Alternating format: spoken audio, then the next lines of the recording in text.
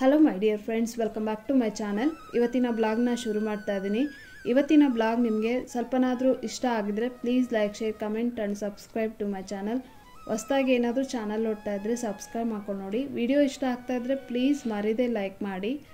So ಇವಾಗ ಬ್ಲಾಗ್ನ ಶುರು ಮಾಡ್ತಾ ಇದ್ದೀನಿ ಮೊದಲಿಗೆ ನಾನು ರಾಯರ್ ಮಠ ಲಾಸ್ಟ್ ವೀಕು ನಾನು ಒಂದು ಕ್ಲಾರಿಟಿ ಕೊಡ್ತೀನಿ. ವಿಡಿಯೋ ಯಾಕೆ ವಾರಕ್ಕೆ ಎರಡು ಆಗ್ತಾ ಇದ್ನಲ್ಲ ಅವಾಗ.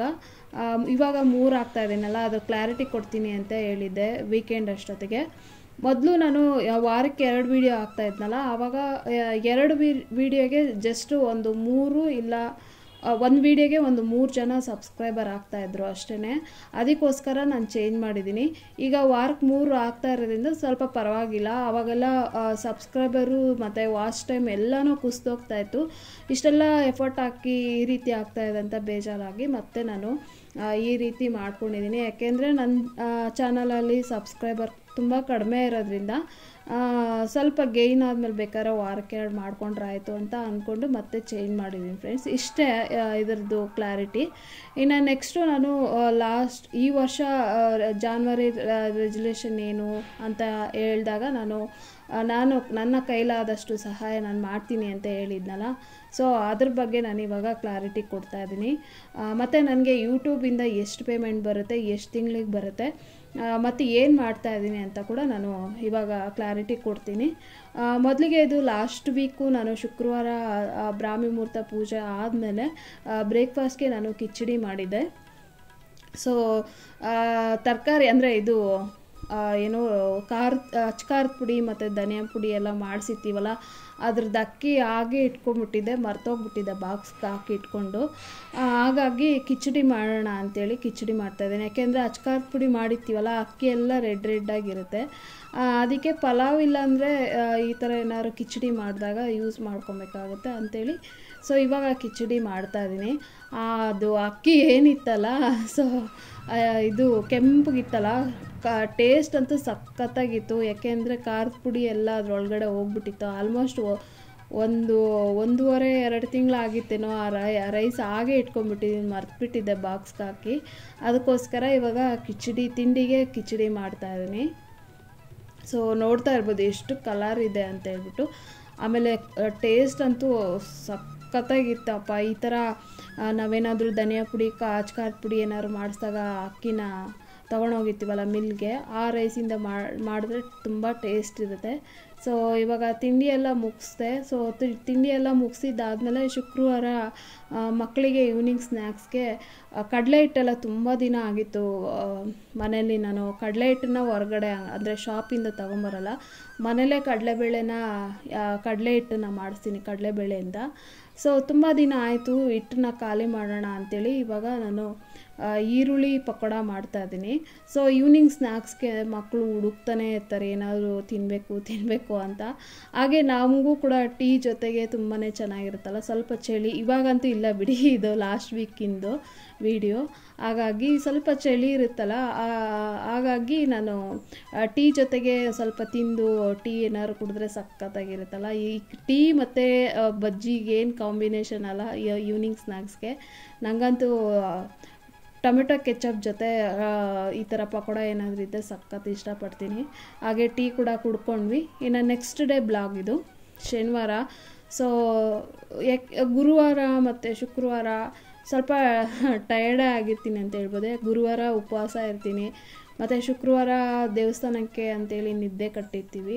ಇನ್ನು ಶನಿವಾರ ಸ್ವಲ್ಪ ಎದ್ದೊಳೋದಕ್ಕೆ ಕಷ್ಟ ಆಗ್ತಾ ಇರುತ್ತೆ. ಹಾಗೆ ಎದ್ದು ಇಡೀ ಮನೆ ಎಲ್ಲ ಮನೆ ಒರೆಸ್ಕೊಂಡು ನಾನು ಮತ್ತೆ ಬ್ರೇಕ್ಫಾಸ್ಟ್ ಪೂಜೆ ಅಂತಂದರೆ ಸಿಕ್ಕಾಪಟ್ಟೆ ಲೇಟ್ ಆಗುತ್ತೆ ಅಂತ ಹೇಳಿ. ಸೊ ಬ್ರೇಕ್ಫಾಸ್ಟ್ ಹಂಗೆ ನಾನು ಮಾಡಿಕೊಂಡೆ ಮನೆ ಒರೆಸ್ಕೊತಾನೇ. ಸೊ ಮೇಲೆಲ್ಲ ಒರೆಸ್ಕೊಂಬಂದು ಮತ್ತು ಕೆಳಗಡೆ ಬ್ರೇಕ್ಫಾಸ್ಟ್ ಎಲ್ಲ ಮುಗಿಸಿ ಎಲ್ಲ ಸ್ನಾನ ಮಾಡಿ ಮತ್ತೆ ಈವ್ನಿಂಗ್ ಪೂಜೆ ಮಾಡೋದು. ಯಾಕೆಂದರೆ ಸುಸ್ತಾಗ್ಬಿಟ್ಟಿತ್ತು ಯಾ ಯಾಕೋ ನನಗೆ ಹಾಗಾಗಿ ಮಧ್ಯಾಹ್ನ ಅವರು ಅಡುಗೆ ಏನು ಮಾಡಬೇಡ ಅಂತ ಹೇಳಿದರು. ಮಶ್ರೂಮ್ ಬಿರಿಯಾನಿ ಮತ್ತು ಮಶ್ರೂಮ್ ಕಬಾಬ್ನ ತಂದಿದ್ದರು ಶನಿವಾರ. ಸೊ ತಿಂದ್ಕೊಂಡು ಸಾಯಂಕಾಲ ಪೂಜೆ ಮಾಡ್ತಾ ಇದ್ದೀನಿ. ಹಾಗೆ ಮಕ್ಕಳಿಗೆ ಈವ್ನಿಂಗ್ ಸ್ನ್ಯಾಕ್ಸ್ಗೆ ಮತ್ತೆ ಇವತ್ತು ಗೆಣಸನ್ನ ಮಾಡಿದ್ದೆ.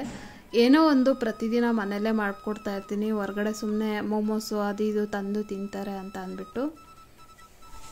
ಹಾಗೆ ಗೆಣಸು ಕೂಡ ನಾನು ಬೇಯಿಸಿದ್ದೆ. ನಾವು ಸಂಕ್ರಾಂತಿ ಹಬ್ಬದಲ್ಲಿ ಈ ಸಲ ಅಂತೂ ತಿನ್ನೋಕ್ಕೆ ಆಗಲಿಲ್ಲ.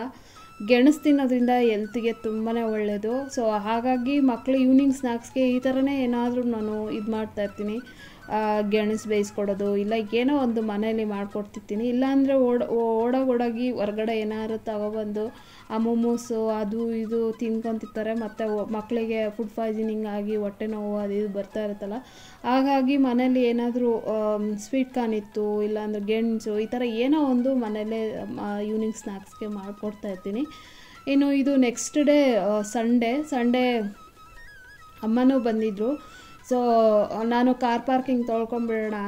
ಇನ್ನು ಸೋಮವಾರ ಆದರೆ ಅಮ್ಮ ಎಲ್ಲ ಇರ್ತಾರೆ. ನಂಗೆ ಕೆಲಸ ಮಾಡ್ಕೊಳಕ್ಕಾಗಲ್ಲ ಮತ್ತು ಅವ್ರ ಜೊತೆ ಮಾತಾಡ್ಕೊತ ಟೈಮ್ ಸ್ಪೆಂಡ್ ಮಾಡಿಕೊಂಡು ಕೆಲಸಗಳನ್ನ ಮಾಡ್ಕೊಳಕ್ಕಾಗಲ್ಲ ಈ ಥರ ಕ್ಲೀನಿಂಗ್ ಅಂತೇಳಿ ನಾನು ಸಂಡೇನೇ ಎಲ್ಲ ಕ್ಲೀನ್ ಮಾಡ್ಕೊತಾ ಇದ್ದೀನಿ. ಇಲ್ಲಿ ಕಾರ್ ಪಾರ್ಕಿಂಗ್ನ ಕ್ಲೀನ್ ಮಾಡ್ಕೊತಾ ಇದ್ದೀನಿ ಇವಾಗ. ಕೆಲವೊಂದು ಸಲ ಡಬಲ್ ಡಬಲ್ ಮಾತಾಡಿರ್ತೀನಿ ಅಂತ ಅಂತಂದರೆ ಇಲ್ಲಿರೋ ನಮ್ಮ ಮನೆ ಹಿಂದೆಗಡೆ ಅಪಾರ್ಟ್ಮೆಂಟ್ ಬರುತ್ತೆ. ಸಿಕ್ಕಾಬಟ್ಟೆ ಅಂದರೆ ಸಿಕ್ಕಾಬಟ್ಟೆ ಡಿಸ್ಟರ್ಬೆನ್ಸ್ ಇರುತ್ತೆ. ಹಾಗಾಗಿ ನಾನು ಡಬಲ್ ಮಾತಾಡಿರ್ತೀನಿ. ಪ್ರತಿ ಸಲ ಮಾತಾಡೋದು ಡಿಲೀಟ್ ಮಾಡೋದು ವಾಯ್ಸ್ ಓವರ್ ಕೊಡೋದು ಡಿಲೀಟ್ ಮಾಡೋದು ಇದೇ ರೀತಿ ಆಗ್ತಾ ಇರುತ್ತೆ. ಇವಾಗ ನೋಡ್ತಾ ಇರ್ಬೋದು, ಪಾಪು ಎಷ್ಟು ಅಳ್ತಾ ಇದೆ ಅಂತ. ಪ್ರತಿ ಸಲ ಚೆಕ್ ಮಾಡೋಕ್ಕಾಗಲ್ಲ. ಎಲ್ಲ, ಅಶುದ್ಧ ವಿಡಿಯೋ ಇರುತ್ತಲ್ಲ. ಹಾಗಾಗಿ ಊರುಗಳಿಂದನೇ ಸ್ವಲ್ಪ ಡಿಸ್ಟರ್ಬೆನ್ಸ್ ಆಗಿ ನಾನು ಡಬಲ್ ಡಬಲ್ ಮಾತಾಡಿದ್ದೀನಿ ಅಷ್ಟೇ ಈಗ ಕಾರ್ ಪಾರ್ಕಿಂಗ್ ಎಲ್ಲ ವಾಶ್ ಮಾಡಿ ಮತ್ತೆ ಮೇಲೋಗಿ ನಾನ್ ವೆಜ್ ಎಲ್ಲ ಮಾಡಿದೆ ಅಮ್ಮ ಕೂಡ ಬಂದಿದ್ದರು ಮಟನ್ ಸಾಂಬಾರು ಮತ್ತು ಮುದ್ದೆ ಇದನ್ನೆಲ್ಲ ಮಾಡಿ ಸಂಡೇನ ಕಳೆದಿದ್ದು. ಹಾಗೆ ನಾನು ಟೂ ಡೇಸ್ ಅಂದರೆ ಟೂ ಡೇಸ್ ಒನ್ಸು ವೀಡಿಯೋ ಹಾಕ್ತಿದ್ನಲ್ಲ ಆಲ್ಟರ್ನೇಟ್ ಡೇಸು ಅಮ್ಮ ಬಂದಿದ್ದರಿಂದ ನನಗೆ ಜಾಸ್ತಿ ಅವ್ರ ಜೊತೆ ಟೈಮ್ ಸ್ಪೆಂಡ್ ಮಾಡ್ತಿದ್ದೆ. ಹಾಗಾಗಿ ಎಡಿಟಿಂಗ್ ಮಾಡೋಕ್ಕಾಗ್ತಾ ಇರಲಿಲ್ಲ ಮತ್ತು ಅಂದರೆ ವಾಯ್ಸ್ ಓವರ್ ಕೊಡೋಕ್ಕಾಗ್ತಾ ಇರಲಿಲ್ಲ. ಇನ್ನು ಯೂಟ್ಯೂಬಲ್ಲಿ ನನಗೆ ತಿಂಗಳಿಗೆ ಎಷ್ಟು ಪೇಮೆಂಟ್ ಬರುತ್ತೆ, ಮತ್ತು ಎಷ್ಟು ತಿಂಗ್ಳಿಗೆ ಬರುತ್ತೆ ಅನ್ನೋದಾದರೆ ನನಗೆ ತಿಂಗಳಿಗೆ ಯೂಟ್ಯೂಬಿಂದ ಪೇಮೆಂಟ್ ಬಂದು ಅದೇ ವಾರಕ್ಕೆ ಎರಡು ವೀಡಿಯೋ ಏನಾದರೂ ಹಾಕಿದ್ರೆ ಸೆವೆನ್ ಹಂಡ್ರೆಡ್ ರುಪೀಸ್ ಬರುತ್ತೆ, ಇಲ್ಲ ಏಯ್ಟ್ ಹಂಡ್ರೆಡ್ ರುಪೀಸ್ ಬರುತ್ತೆ ಅಷ್ಟೇ ಮಂತ್ಲಿ ಇನ್ನು ವಾರಕ್ಕೆ ಮೂರು ವೀಡಿಯೋ ಅಂತ ಏನಾದರೂ ಹಾಕಿದ್ರೆ ಮೊದಲೆಲ್ಲ ನನಗೆ ಒಂದು ಎರಡು ಸಾವಿರ ರೂಪಾಯಿ ಸಿಗ್ತಾಯಿತ್ತು ಆಮೇಲೆ ಆಮೇಲೆ ಕಡಿಮೆ ಆಗ್ತಾ ಬಂತು. ಸಾ, ಒಂದೂವರೆ ಸಾವಿರ, ಒಂದು ಸಾವಿರದ ಆರುನೂರು, ಸಾವಿರದ ಏಳ್ನೂರು ಈ ರೀತಿ ಆಗ್ತಾಯಿತ್ತು ಈಗ ಅದೇ ವಾರಕ್ಕೆ ಎರಡು ವೀಡಿಯೋ ಹಾಕಿ ತುಂಬಾ ಕಡಿಮೆ ಆಯಿತು. ಹಾಗಾಗಿ ಇವಾಗ ಚೇಂಜ್ ಮಾಡಿದ್ದೀನಿ. ಮತ್ತು ನನಗೆ ಮನ್ ಎಷ್ಟು ತಿಂಗಳಿಗೆ ಪೇಮೆಂಟ್ ಬರುತ್ತೆ ಅಂತ ಅನ್ನೋದಾದರೆ ಒಂದು ತ್ರೀ ಮಂತ್ಸ್ ಫೋರ್ ಮಂತ್ಸ್ ಬೇಕಾಗುತ್ತೆ ನನಗೆ ಹಂಡ್ರೆಡ್ ಡಾಲರ್ ಆಗೋದಕ್ಕೆ. ಸೊ ಅದರಲ್ಲಿ ನಾನು ನನ್ನ ಕೈಲಾದಷ್ಟು ಸಹಾಯ ಮಾಡಬೇಕು ಅಂತ ಅಂದ್ಕೊಂಡಿದ್ದೀನಿ ಫ್ರೆಂಡ್ಸ್ ನಿಮಗೆ ದುಡ್ಡು ಏನಾದರೂ ಜಾಸ್ತಿ ಆಗಿದೆಯಾ ಪದ್ಮ ಅಂತ ಕೇಳ್ಬೋದು. ನಾವು ನೂರು ರೂಪಾಯಿ ದುಡಿದ್ರೂ ಹತ್ತು ರೂಪಾಯಿ ಕೊಟ್ಟು ಹಂಚಿ ತಿಂದರೆ ಒಳ್ಳೆಯದು ಅಂತ ನಮ್ಮ ಹಿರಿಯರು ಹೇಳಿದ್ದಾರೆ. ಜೊತೆಗೆ ದುಡ್ಡು ಎಲ್ಲರಿಗೂ ತುಂಬಾ ಅವಶ್ಯಕತೆ. ಅದೆಷ್ಟು ಕೋಟಿ ಕೋಟಿ ಬದುಕಿರೋರಿಗೆಲ್ಲರಿಗೂ ದುಡ್ಡಿನ ಅವಶ್ಯಕತೆ ತುಂಬಾ ಇದೆ. ದುಡ್ಡು ಆಸೆ ಪಡೆದಿರೋ ಮನುಷ್ಯ ಯಾರೂ ಇಲ್ಲ. ಹಾಗೆ ನಾವು ನಾವೇನು ದುಡಿತೀವಿ, ಅದರಲ್ಲಿ ಒಂಚೂರು ಕೊಟ್ಟು ನಾವು ತಿಂದರೆ ಒಳ್ಳೆಯದು ಅಂತ ನನಗೆ, ನನ್ನ ಆಸೆ ಅಷ್ಟೇ ನಮ್ಮ ನ, ಪ್ರತಿಯೊಬ್ಬ, ಅದೇ ಹೇಳ್ದಾಗೆ ಪ್ರತಿಯೊಬ್ಬ ಮನುಷ್ಯನಿಗೂ ದುಡ್ಡು ಬೇಕು. ಹಾಗಾಗಿ ನನಗೆ ಎಷ್ಟು ಸಹಾಯ ಮಾಡಬೇಕು ಅಂತ ಅನಿಸುತ್ತೋ ಅಷ್ಟು ಸಹಾಯ ಮಾಡಿ ಮಾಡ್ತೀನಿ. ಮತ್ತು ನೀವು ಲಾ ನಾನು ಅಂದರೆ ಹೇಳೋದೇ ಒಂದು, ಮಾಡೋದೇ ಒಂದು ಅಂತ ಅಂದ್ಕೊಬೋದು ನಾನು ವೆಯ್ಟ್ ಮಾಡ್ತಾಯಿದ್ದೆ ತುಂಬ ಕಡಿಮೆ ಸ ಪೇಮೆಂಟ್ ಬರೋದ್ರಿಂದ ನನ್ನ ಹಸ್ಬೆಂಡು ಲಾಸ್ಟ್ ಟೈಮ್ ನಾವು ಸಂಕ್ರಾಂತಿ ಹಬ್ಬಕ್ಕೆ ಹೋದಾಗಲೂ ಕೂಡ ನಾನು ಜಸ್ಟ್ ಒನ್ ಅವರ್ ಅಷ್ಟೇ ಆಗುತ್ತೆ ಕರ್ಕೊಂಡೋಗಿ ನಾನು ಏನಾದರೂ ಮಾಡಿ, ಕೊಡ್ತೀನಿ ಅಂತ ಹೇಳ್, ಹೇಳಿದ್ರೆ ಇವರು ನೀನು ಬರೋದೇ ಮೂರು ತಿಂಗಳು, ನಾಲ್ಕು ತಿಂಗಳಿಗೋ ಇಷ್ಟು ದುಡ್ಡನ್ನ ತಗೊಂಡು ಅಲ್ಲಿ ಏನು ಹಂಚ್ತೀಯ, ನಿನ್, ನಿಂಗೆ ನಾಚಿಕೆ ಆಗಲ್ವಾ ಅಂತ ಹೇಳ್ತಾಯಿದ್ರು ತುಂಬ ದುಡ್ಡು ಬಂದರೆ ಏನಾದರೂ ಮಾಡ್ಬೋದು. ಚಿಕ್ಕ ಅಮೌಂಟ್ನ ತಗೊಂಡೋಗಿ ಯಾರಿಗೆ ಏನು ಮಾಡ್ತೀಯ ಅಂತ ಹೇಳ್ತಾಯಿದ್ರು ಆಮೇಲೆ ಪರವಾಗಿಲ್ಲ ಏನೋ ಒಂದು ಅಕ್ಕಿನಾದರೂ ಕೊಡೋಣ ಅನ್ನದಾನಕ್ಕಾಗುತ್ತೆ ಅಂತ ಹೇಳಿದೆ. ಲಾಸ್ಟ್ ಟೈಮ್ ನೀವು ಯಾರಾದರೂ ತುಮಕೂರು ಕ್ಯಾತ್ಸಂದ್ರದವ್ರು ಆದರೆ ನನಗೆ ಕಮೆಂಟ್ ಬಾಕ್ಸಲ್ಲಿ ಕಮೆಂಟ್ ಮಾಡಿ. ಯಾಕೆಂದರೆ ಸುಮ್ಮನೆ ನಾನು ಹೇಳೋದೊಂದು ಮಾಡೋದೊಂದು ಅಂತ ನೀವು ಅಂದ್ಕೊಬಾರ್ದು. ಅಲ್ಲಿ ಏನಾಗ್ತಾ ಇತ್ತು ಅಂತಂದರೆ ಸಂಕ್ರಾಂತಿ ಹಬ್ಬದಲ್ಲಿ ತುಂಬ ರೋಡ್ ವರ್ಕ್ ನಡೀತಾ ಇತ್ತು. ಹಾಗಾಗಿ ನಮಗೆ ಹೋಗೋದಕ್ಕಾಗಲಿಲ್ಲ. ಅದು ಯಾವಾಗ ಕರೆಸ್ಕೋಬೇಕು ಅಂತ ಇರುತ್ತೋ ಆವಾಗಲೇ ಅಲ್ವಾ ಟೈಮ್ ಬಂದಾಗಲೇ ಹೋಗೋಕ್ಕಾಗೋದು. ಅಲ್ಲಿ ತನಕ ಎಷ್ಟೇ ಪ್ರಯತ್ನ ಪಟ್ಟರು ಕೆಲವೊಂದು ಜಾಗಕ್ಕೆ ನಮಗೆ ಹೋಗೋದಕ್ಕಾಗಲ್ಲ. ಹಾಗಾಗಿ ನಾನು ಇಲ್ಲೇ ದೇವಸ್ಥಾನಕ್ಕೆ ಸುಮಾರಷ್ಟು ಜನ ನೀವು ನೋಡ್ಬೋದು, ರಾಯರ ಮಠಕ್ಕೆ ಎಷ್ಟು ಜನ ಬರ್ತಾರೆ, ನಾನು ಜಾಸ್ತಿ ವಿಡಿಯೋ ಮಾಡೋಕ್ಕೆ ಹೋಗಿಲ್ಲ. ಪಾಪ ಎಲ್ಲ ತಿನ್ಕೊತಾ ಇರ್ತಾರೆ. ಹಾಗಾಗಿ ಮತ್ತು ಎಷ್ಟೋ ಜನ ಅಲ್ಲಿ ಕೂಲಿ ಕೆಲಸ ಮಾಡೋರು ಕೂಡ ಹೊಟ್ಟೆ ತುಂಬಿಸ್ಕೊಂಡು ಹೋಗ್ತಾರೆ. ಅಷ್ಟು ಹೊಟ್ಟೆ ತುಂಬ ಊಟನ ಕೊಡ್ತಾರೆ ಇಲ್ಲಿ ರಾಯರ್ ಮಠದಲ್ಲಿ, ಮತ್ತು ಬಾಕ್ಸ್ಗಳಿಗೂ ಕೂಡ ಹಾಕ್ಸ್ಕೊಂಡು ಹೋಗ್ತಾ ಇರ್ತಾರೆ. ಹಾಗಾಗಿ ಅಟ್ಲೀಸ್ಟ್ ಇಲ್ಲಾದರೂ ಕೊಡೋಣ ಅನ್ನದಾನ, ಮಹಾದಾನ ಅಂತ ಹೇಳ್ತಾರಲ್ವ? ಹಾಗೆ ಇದೆಲ್ಲ ನಿಮ್ಮಿಂದ ಸಾಧ್ಯ. ನೀವು, ನಿಮ್ಮಿಂದನೇ ಅಂತ ಹೇಳ್ಬೋದು. ಸೊ ನೀವು ಪ್ರತಿಯೊಬ್ಬ ವ್ಯೂವರು ನನ್ನ ವ್ಯೂ ವ್ಯೂ ಮಾಡ್ತಾ ಇರೋದ್ರಿಂದ ಇಷ್ಟು ಪೇಮೆಂಟ್ ಬರ್ತದೆ. ಇದೆಲ್ಲ ನಿಮಗೂ ಕೂಡ ಸಲ್ಲಬೇಕು ನಾನೇನು ಸಹಾಯ ಮಾಡ್ತಾ ಇದ್ದೀನಿ. ಅದು ಅದು ನಿಮ್ಮೆಲ್ಲರಿಗೂ ಕೂಡ ಸಲ್ಲಬೇಕು ನಿಮಗೂ ಕೂಡ ಒಳ್ಳೇದಾಗಬೇಕು ಅಂತ ನಾನು ಕೂಡ ದೇವ್ರ ಹತ್ರ ಬೇಡ್ಕೊತೀನಿ. ಆದಷ್ಟು ವಿಡಿಯೋನ ಇಷ್ಟ ಆಗ್ತಾಯಿದ್ರೆ ಶೇರ್ ಮಾಡ್ಕೊಳ್ಳಿ ಸಬ್ಸ್ಕ್ರೈಬ್ ಮಾಡ್ಕೊಳ್ಳಿ. ಮತ್ತು ಒಂದಷ್ಟು ಮಕ್ಕಳಿಗೆ ಎಲ್ಪ್ ಮಾಡೋಣ. ಅಂತ ಹೇಳೋದಕ್ಕೆ ಇಷ್ಟಪಡ್ತೀನಿ. ಸೊ ಇದಿಷ್ಟು ನನ್ನ ಯೂಟ್ಯೂಬ್ ಕ್ಲಾರಿಟಿ ಫ್ರೆಂಡ್ಸ್ ಇನ್ನು ನೆಕ್ಸ್ಟು ನಾನು ಒಂದು ಸಾರಿಗೆ ಕುಚ್ಚು ಹಾಕೋಬೇಕಾಗಿತ್ತು ಅದಕ್ಕೆ ಹಾಕೊತ ಇದ್ದೀನಿ. ಇದು ಕೂಡ ಏನು ಪದ್ಮ, ನೀವು ಹೊರಗಡೆ ಕೊಡೋದು ಬಿಟ್ಟು ನೀವೇ ಹಾಕ್ತೀರಾ ಅಂತ ಅಂದ್ಕೊಬೋದು ಇದು ನನಗೆ ತುಂಬಾ ಇಷ್ಟ ಸಾರಿ ಕುಚ್ಚು ಹಾಕೋದು.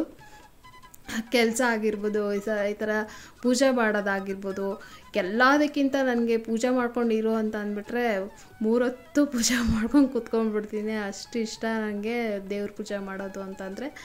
ಆಮೇಲೆ ಮನೆ ಕೆಲಸ ಮಾಡೋದು ಕೂಡ ಅಷ್ಟೇ. ಈ ಥರ ಇವಾಗ ಸಾರಿ ಕುಚ್ಚು ಹಾಕೋದು ಕೂಡ ಅಷ್ಟೇ. ತುಂಬಾ ಇಷ್ಟ ಆಗುತ್ತೆ.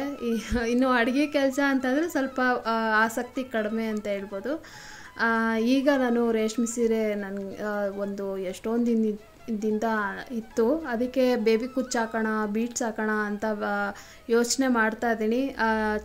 ಸೊ ಯಾವ್ದು ಹಾಕ್ತೀನಿ ಅಂತ ನಾನು ನೆಕ್ಸ್ಟ್ ಬ್ಲಾಗಲ್ಲಿ ತೋರಿಸ್ತೀನಿ.